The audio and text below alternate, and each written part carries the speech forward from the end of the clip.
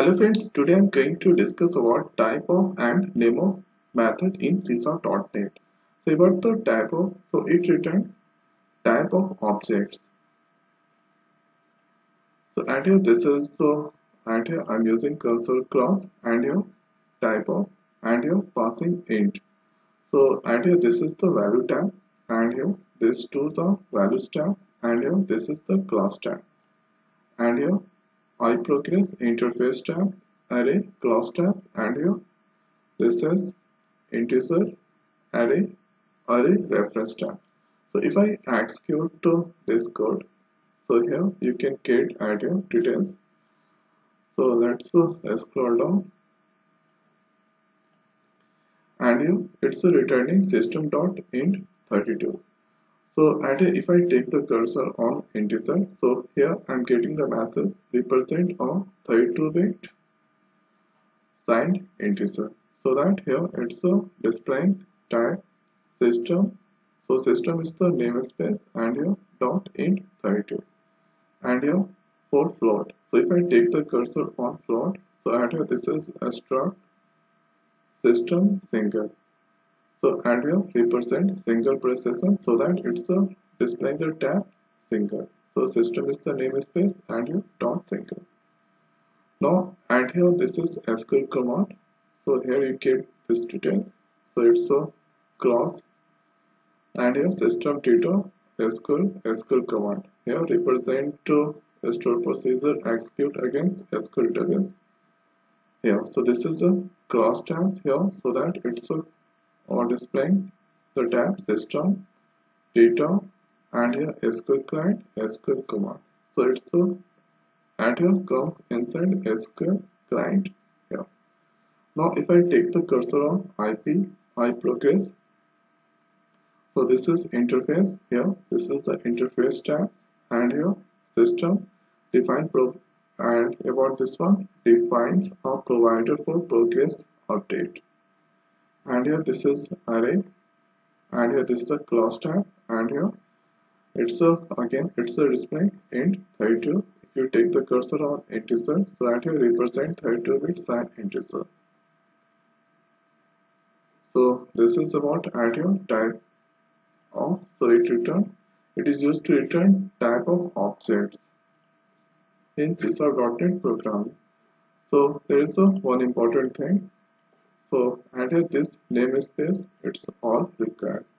If I cut and here I'm getting the message post console and here SQL command here iProgress and here array. So it's the three are dependent upon this all namespace we don't need to paste this place. Here this is the right place at the at the top and here this namespace is here this namespace this, so this is required for here SQL command okay. So like this you can use here console class and here dot writeline method and here let's give so add here typo here you get details so add your type. Let's press enter. And here after. So this time going to give add your double. Okay. Now here close by semicolon. So if you take the cursor on typo here here you get the details represent type declaration class type here interface array value enumeration type parameter generic and open and close constructor generic tab so right here this is about type of. Now if I execute this again so it will display the type of double. So here you get so right here this is the tab system dot double. So this is uh, important to uh, important interview sometimes so or they will ask you what is the type of integer so there or uh, there may be the option like int 32 and here int 64 so you should give the answer system dot int 32 and here for float that is system dot single. The tab now here after there is another thing is name of so let's execute this first so add here name of operator. So it it obtained the name of the variable type or member. So by using add here name of operator so it is used to obtain the name of variable type or member. So let's uh, understand this example